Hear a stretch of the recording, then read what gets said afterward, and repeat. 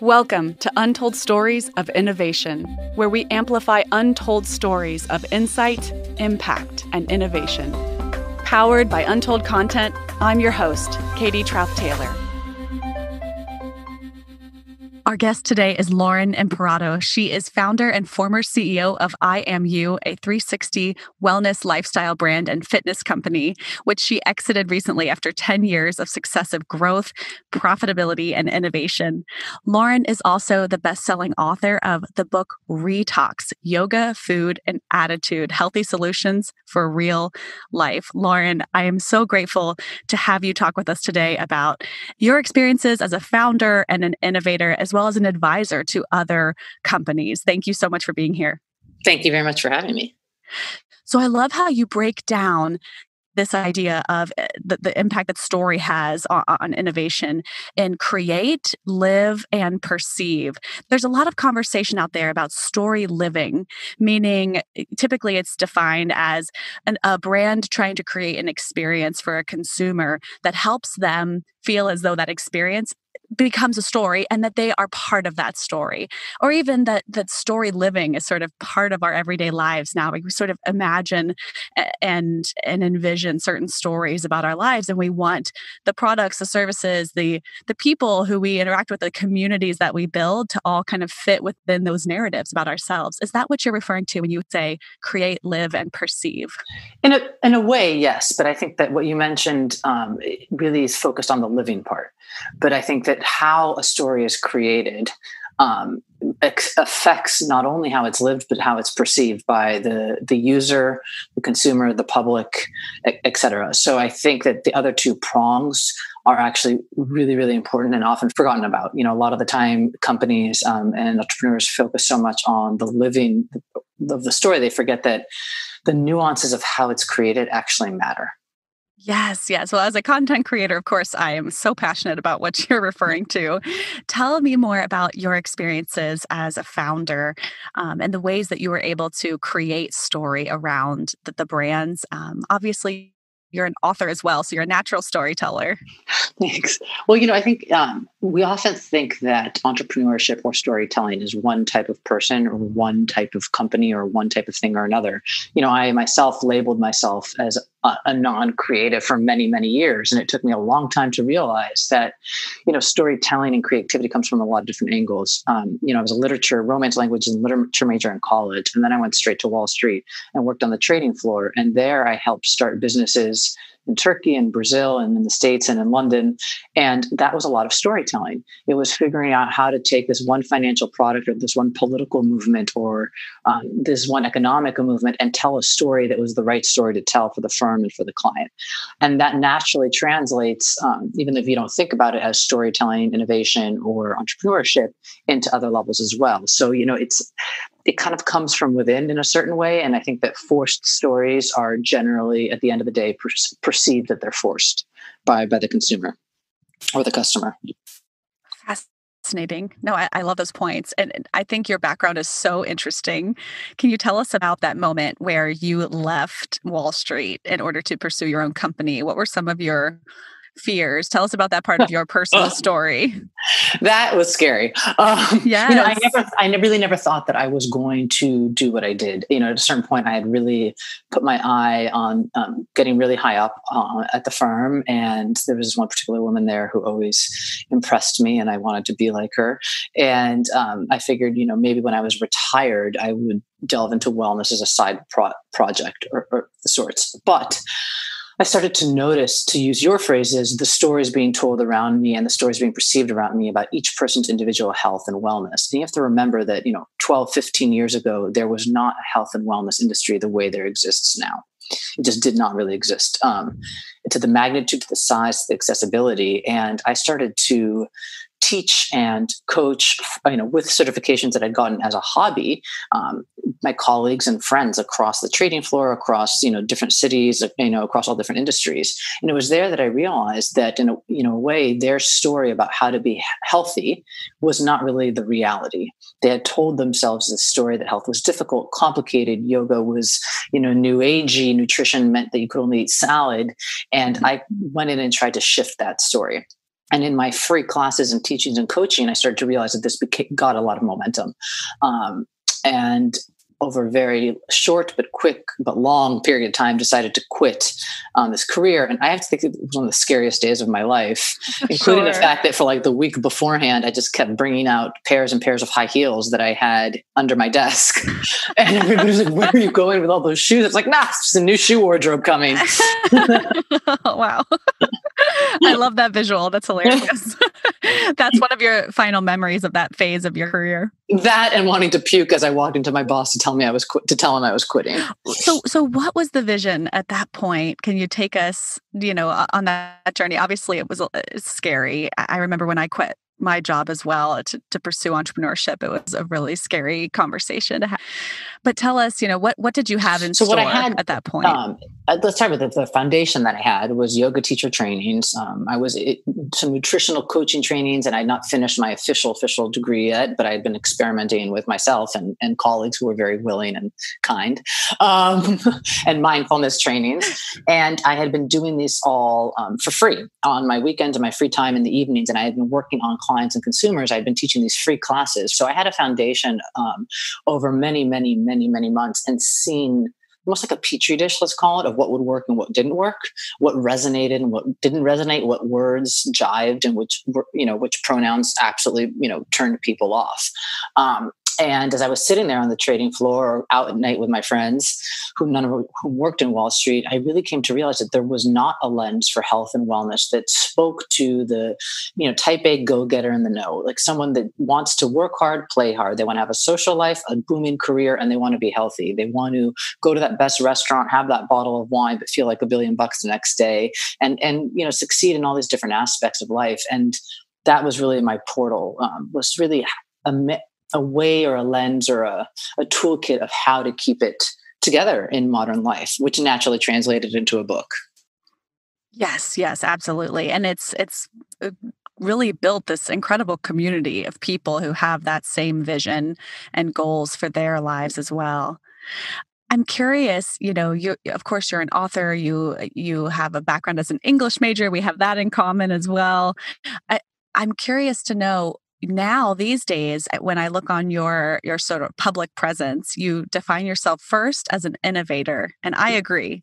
And i think there are a lot of people in the health or the wellness space who maybe don't put that as their very first you know tagline or the thing that defines them most. Why do you choose to call yourself an um, innovator? um, you know to be honest a lot of people were calling me an innovator and i didn't um, feel it Uh, but I realized that in all the things I've done in my life so far and the things that I continue to do and aspire to do, they're all in an innovation space, whether that's innovating um, these small businesses that I started while I was in college to innovating the the way that the coffee shop in Palo Alto that I worked at as a first as a dishwasher, then as a bus girl, then as a you know cappuccino maker, and then as a register you know person, innovating how that was done to the way I did things on Wall Street, the way the firm did some certain things on Wall Street to you know industry to all the projects I have in between. You know, I've never defined myself as a health and wellness um, person, business and innovation are are what I like to do best. And within that, the storytelling. Yes. And you're also now an advisor for WIN, which is Women in Innovation, of course tell us about that and, and some of the, the, the ways in which that adds to that identity you know, for yourself. In, innovation is um is an industry, but innovation is also what creates our future. And this is an amazing organization, and I'm so happy to be working with them um, that works on helping women along in innovative, innovative roles, innovation roles. So really for gender equality in this sphere that sh- shapes all of our futures, and it's pretty cool. Yeah, absolutely. It, it, there are quite a few odds still stacked against us as women, unfortunately, um, in terms of getting venture capital and um, and succeeding in the same ways that that men can. Um, and so, I it's really neat to see organizations form to again create community create a larger story and amplify it around how women are also innovators can also be successful in these ways yeah and i would actually even adjust a little bit of what you say if i may. I think that women not, can be innovators. I think that they are. I think females are innately right. innovative yes. whether it's you know finding something that gets lost by our significant others or you know how to put dinner on a table in a different way. Like those are quote unquote more female things or you know things that have nothing to do with the home. I feel like we're constantly looking at problem solving in a different way and i don't know if that's from a dna perspective perhaps related to our caretaking nurturing nature that it's you know that has shown that, that you know it is we are the the way it evolves. Um, but I do think that we are innately, and every female is innately an innovator. Yes, I completely agree. You know, I see in your writing and, and in your content, you are a teacher at heart too. So I, I, think it's interesting. You have so many different identities, you know, as an innovator, as a business person, as an author, and also uh, it seems as though in your yoga practices, your, your former studio, and, and the businesses that you've built, you have a heart for empowering others and teaching. Can you tell us what you've learned about, you know, storytelling in particular and how you've sort of infused that into the brands you've created or advised? Yeah, you know, at the end of the day, um, we buy things, consume things, join things, share things because it touches part of our something emotional.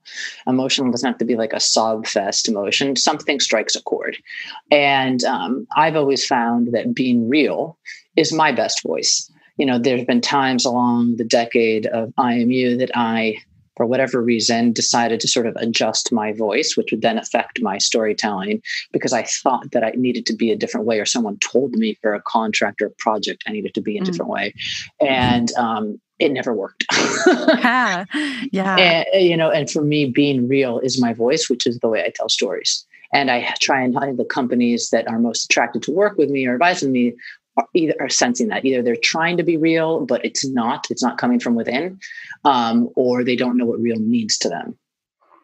I can't tell you the number of times i've been in a meeting or, or be or getting onto a meeting preparing for it thinking what tone of voice should i take i need to you know every every single factor of that's running through my head i want to lower my tone of voice or i want to be a little more delightful in this conversation or i need to be strict in this conversation i just stand my ground like it, it's i get in my head so much about the way that my voice sounds and the way that my story sort of comes across in a business context it, it really is a, such an interesting social yeah.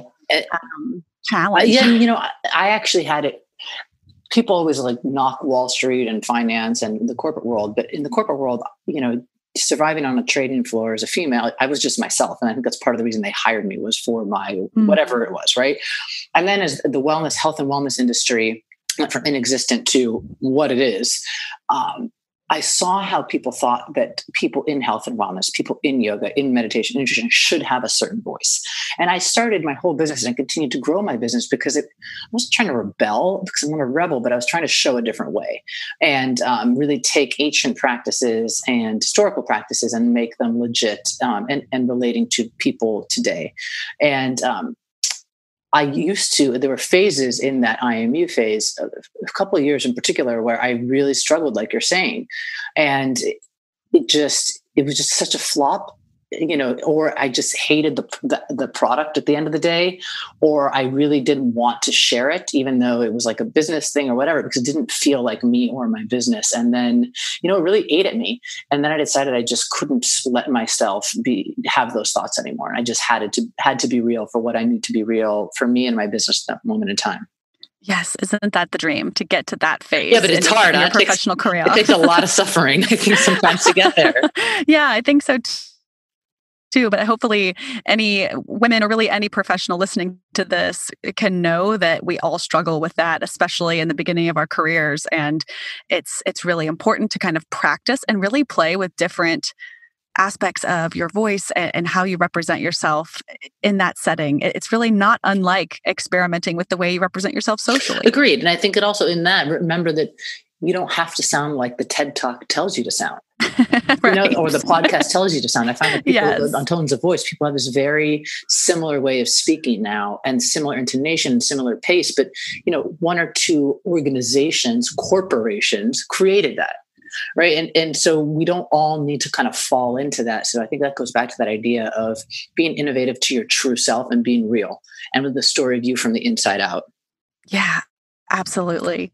Could you tell us more about some of the companies that you advise and uh, that aspect of your of your professional life now? Yeah, you know, I, I, took a long um, breather after I Am You and and really stepped back and realized that what I love doing and the companies that have come to me quote unquote organically have really been what I call um, a category called consumer touching. So people always talk about consumer goods, consumer facing goods, blah, blah, blah, blah, blah. And I, I realize that in an innovative sense, I, I, guess now that we're talking this out, consumer touching companies are what I like and what I'm good at, whether that is a technology that somehow and, mm. you know, tertiarily affects the consumer, or it is a product, like a legitimate food product or a um, accessory or a clothing brand or product. Um, it, it, I like things that touch the consumer, and I think that's big, partly because of that storytelling that we're talking about here. Yeah, absolutely. That that makes so much sense. And, and so, when you're advising, how are you bringing the consumer's story and experience into, you know, the worldviews of your of your clients or your partners? It really depends because some companies come uh, come in or entrepreneurs and they have a very clear brand and a very clear vision. Others think they have a very clear brand and story, but you know the sales aren't working. So there's clearly something wrong. Um, and on the other side, you know, there's ones that you know really don't have any of it, don't have the brand or the story, um, but the, and they need to create one. So what I try and do is figure out the why behind um, the product, the why for both the company slash entrepreneur that's created it, and the why for the ultimate end consumer. And a lot of the times, you know, the business doesn't want to hear it right? They they have created a product or a technology in which um, they think that it should be received or used for this purpose and this purpose only. But the better story is completely different. Mm-hmm. and it takes a lot of bravery as you know in entrepreneurship and we've all been there who are entrepreneurs in the trenches to, to make a pivot. You know whether it's a pivot of a product or a pivot of a pl- product placement or the pivot of the story itself Yes, yeah, absolutely. And realigning in that way or sort of refocusing your understanding of your audience or your community or your consumer, however you want to kind of conceptualize that group. You know, there's, I think there's a lot of lessons there for mindfulness, actually. And I'd love for you to riff on this with me if you're a game. Sure. but, you know, there's a lot of conversation now about the role that empathy plays in innovation. And of mm. course, we know that empathy is always central to a powerful story. You know, it's going to make you feel, it's going to make you see the world differently. And uh, it's the same with innovation, right? If your if your service or your product or your approach doesn't resonate with the people you're trying to serve, then you've missed something. And so I'm curious how I don't know that there's as much conversation in the innovation space, at least, you know, at conferences and books and such on mindfulness and its role in innovation. Have you heard much buzz on that? Here and there a little bit, but I feel like um, mindfulness and empathy i consider almost different things you know in tibetan sure, buddhism sure. yeah in tibetan buddhism there's a concept of um, exchanging yourself and others so it, and i used to teach this when i was taught mindfulness in yoga and you can read about it in my book i think there's a whole chapter or part of a chapter yes. dedicated but but it's about putting yourself in the other person's shoes and not just the other shoes but really in their body almost. Like it's almost like stepping into a suit and looking at the world perceiving the world going through the actions with them. And that's something that i use a lot when i'm brought in to advise or consult with companies is you know trying to put myself in that end consumer's use. You know there was a beauty company once that i worked with and they had this this great product but they really wanted it to be used by their consumer in a certain way and it wasn't working and all this investor money was going out and blah blah blah all the bad things that you don't want to happen and i came in and i said okay well actually if we look at these facts of your consumer base their day-to-day um, lifestyle their income um, their their challenges. What if we actually positioned the product to solve a problem, you know, a problem of time management? And um, instead of being a quote unquote how you look product, what if we made it an efficiency product? And that was a subtle way of innovation by just trying to put myself in the consumer shoes. Yes, absolutely. Yes, that makes so much sense. So, so I think you know, in those ways, I, I love that practice of taking a moment. Did you say you try to practice that kind of empathy building before you you go into that kind of strategy session? Well, I, I really, I do, I'm hesitant with the word empathy because I think it implies a lot of different things for a lot of people. So I'll go with I, I try and uh, exchange myself and others, and the others being not even just the, the, the company, but the end, the end user, that consumer that company is trying to touch. Sure, sure. So what what about the relationship of mindfulness to innovation? Well, you know, you can't innovation, I, I firmly believe, comes from being aware, um, from observing and then letting those observations create something in your mind. Um, so if you're not mindful, quote unquote, there's no way you're going to be properly observing something whether that is a you know a um, laid back observation so one that you don't even realize that is permeating your eyes or your ears or your nose or your mind or a very conscious observation you know without being quote unquote mindful it's very difficult i think to even be innovative or to be creative which is a step of innovation Yes, I love that point. Yes, that's that's completely true. And it's interesting too even as uh, as founders I know in the early days of, for instance, that that's infused into the heart and soul of every decision. And then I think as years go by and the business gets more established, it, it can become increasingly more difficult to realign with that understanding of of your purpose and the consumer. You sometimes have to, you know, you just have to constantly have a mindset of curiosity, or as you said, observation about out the world about your customers and, and how to continue serving absolutely well. and also you know uh, reminding yourself of why you did it to begin with. And everybody has a different reason for that. Um, but it can be hard, as you know, to manage expenses, income, revenues, blah, blah, blah, blah, blah, investment. And, um, you know, it's hard to juggle all those things and to be mindful about all of them.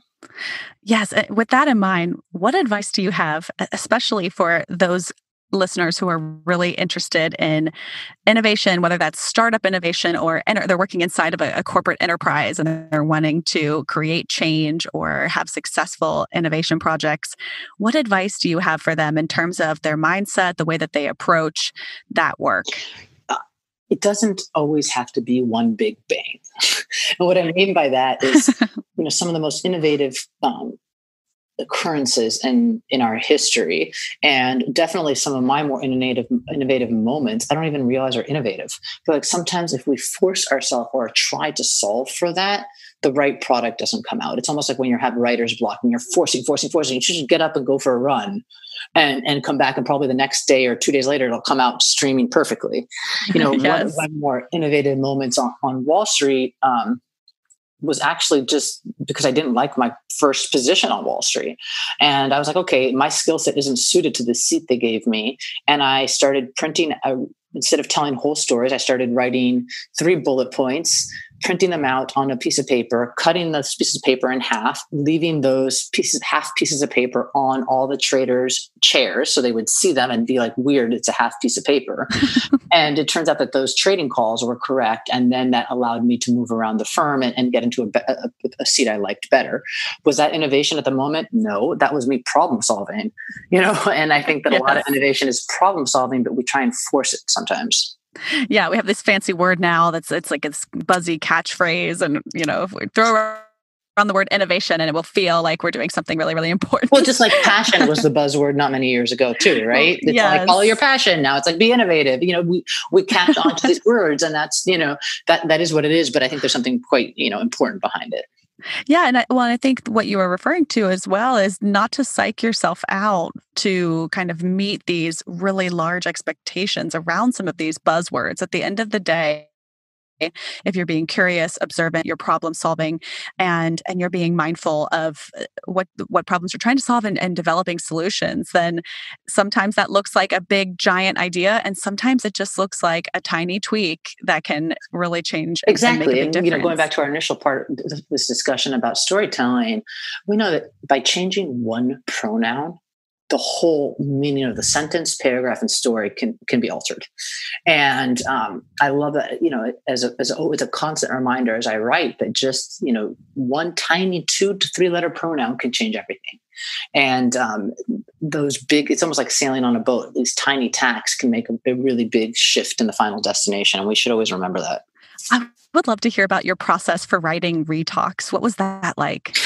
You know, it started with me sitting on the trading floor and being like, God, if we just had a manual for how to keep it together in this busy, stressful workday, it would be so easy, you know? I love it. and uh, and then obviously I built the business, and I wanted to have this this book, and no book had been made like that before. Um, it was the really first of its kind that combined three different facets that are now considered one quote unquote wellness, but there hadn't been a three pronged book like that. And I wanted to do that because, you know, if you have a quote a stomach ache, sometimes it becomes it's because of something you ate, sometimes it's because of stress, sometimes because of how you slept, sometimes you know, there's a thousand different reasons you can have it.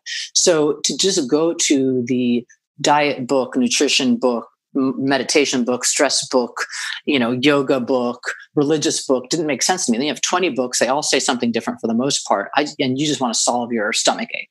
So I decided to break down the book and, or create a different structure for the book, which, you know, was a bit re- rebellious, I guess, at the time, or yes. whatever word you want. Um, and really try and break the structure again thinking of the end consumer putting myself in their shoes and be like okay i don't want to buy 20 books and read them all. I just want to solve for this one thing. And i try to structure a book with that innovative lens for lack of a better phrase. I love it. Yes, it makes absolute sense to combine those things and I think it's it's really neat to hear, you know, how really the, the whole wellness, sort of the identity of influencers, wellness influencers, that's it has so much uh, it has so much more established identity to it now as compared to when you were first coming onto the scene in the space.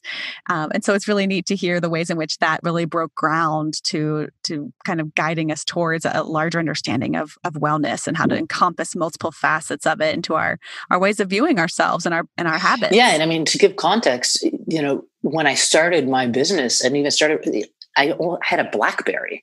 All my original audio classes you can find on iTunes or Spotify or video classes you can still purchase.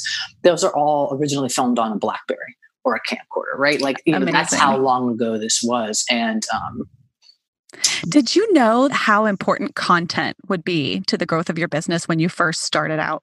No, and I think that was a double-edged sword in the sense that none of us knew and and I was just creating content at a weekly newsletter before every class that I taught or my teachers taught we had to I came at it in a story. So let's call it you know a, a weekly newsletter story, the story before each class.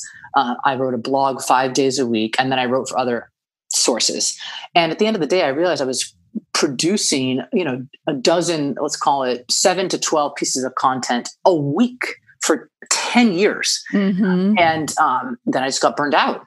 You can't do it anymore, you know, and I just actually wrote my first public piece uh, about a month and a half, two months ago. And that's after almost a three year hiatus.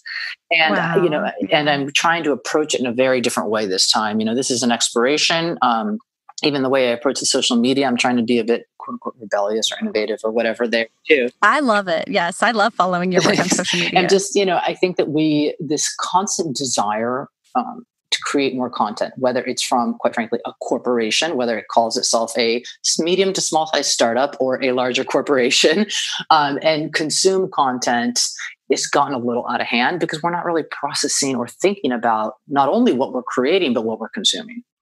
I completely, I, I completely hear where you're coming from, especially so many businesses. You know, it's smart to think about SEO. Yeah.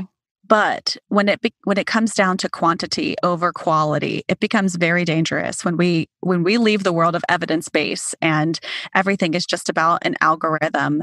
It inculcated with content that is not well thought through. It's not pulling in the insights of experts. It's, it's not even really referencing you know the, those research based or evidence based the facts that we need to have in order to know whether that resource is legitimate or not. So there's there's a lot i think that still needs to be done when it comes to continuing to remind ourselves that quality is critically important and you know you see a lot of advice around content marketing really just focused on how do you produce produce produce um, but if you're not being mindful about how you do that you, you're really putting the world in a worse yeah, place i couldn't agree opinion. more and i also think though it's so challenging because the world um, in many ways is run by a few very large platforms yeah. and um, they control the algorithms completely. And that was one of my biggest frustrations, uh, you know, towards the end of my, of my time at I Am You is that here I am creating stuff and then you ch- they change the algorithm or they decide I haven't created enough and then you get bumped and then blah, blah, blah. And that whole cycle, you know, so well starts. Yes, yes, and, yes. And then you get stuck in this situation as a small business, as an entrepreneur, you get stuck in this, this really moral paradox in a certain way. For me, it was a moral paradox. Do I dive into what these large companies um, and large platforms want me to do, which is create more despite the quality? Or do I stick true to who I am and who I want my business and personal self to be? And that is a very hard line to walk every single day, particularly when the basis of reaching consumers now, whether it's reaching their minds for that, so encouraging them to think, or in my case, make them feel better, is through these platforms. You know, when I started, also, there was no such thing as Instagram when I started my business. There were no influencers. So I had to live this whole, you know, trajectory of none of that to being told that I need to look lighter and more boobacious and soft on my Instagram photos, you know, and it, yeah. And then meanwhile, you see, as you know, you see people on the other side, particularly in health and wellness, who have literally no degrees or expertise in this, but they have a look that consumers like. So it just it, it's a very it's a very tough you know moral dilemma in my mind. I completely agree with you. And I, I think more, you know, digital literacy will help the world. Yeah. and so if we all continue to commit, but the most important thing, like you said, is staying true to the story that you want to live out in your professional and personal life. And, you know, yes, you have to be resonating in order to, to to reach people where they're at but at the same time if if uh, i kind of equate it to the experience that people have uh, when they go on survivor you know you don't want to be you don't want to uh, have your story is resented and is so dark and evil that you have to live yeah. with those choices for the rest of your life. you probably won't win the million dollars with that approach either. Come to find, but it's um, hard. But, it's it's it's very anyway, hard. It's a decision yeah. I feel like yes. I had to make every single day, multiple times a day. And by the way, that doesn't always win you accolades or profit or clients, but it had to. I really right. had to make it from the inside for myself to sleep with myself at night. Yes, thank you for sharing that. And you know, you do see a lot of influencers burning out for those reasons, and um, and, and so, gosh, I it, it kind of goes back to the hope that the world can continue to be a kind place, even if we're virtual and we're removed from one another, yes. like we are right now with with the pandemic that we're all um, we're all trying to kind of fight against together. I launched a new blog um, during this the past couple months called Between the Waves so between the waves.co yes. and that first piece I wrote, my first public piece in, in almost three years, um, is actually about that. I encourage you to you got you and your uh, listeners to check it out if they don't mind. Yes, definitely. Please check that out. If you're not already following Lauren Imparato on social media, please follow her. Definitely read Retox. And uh, I'm so inspired by everything we've talked about today, Lauren. It's, thank you so much for being here on the podcast. Thank you for your time. Really been it's been a fun chat. Absolutely. Take care. I'll talk soon. Talk to you soon. Thanks for listening to this week's episode. Be sure to follow us on social media and add your voice to the conversation. You can find us at Untold Content.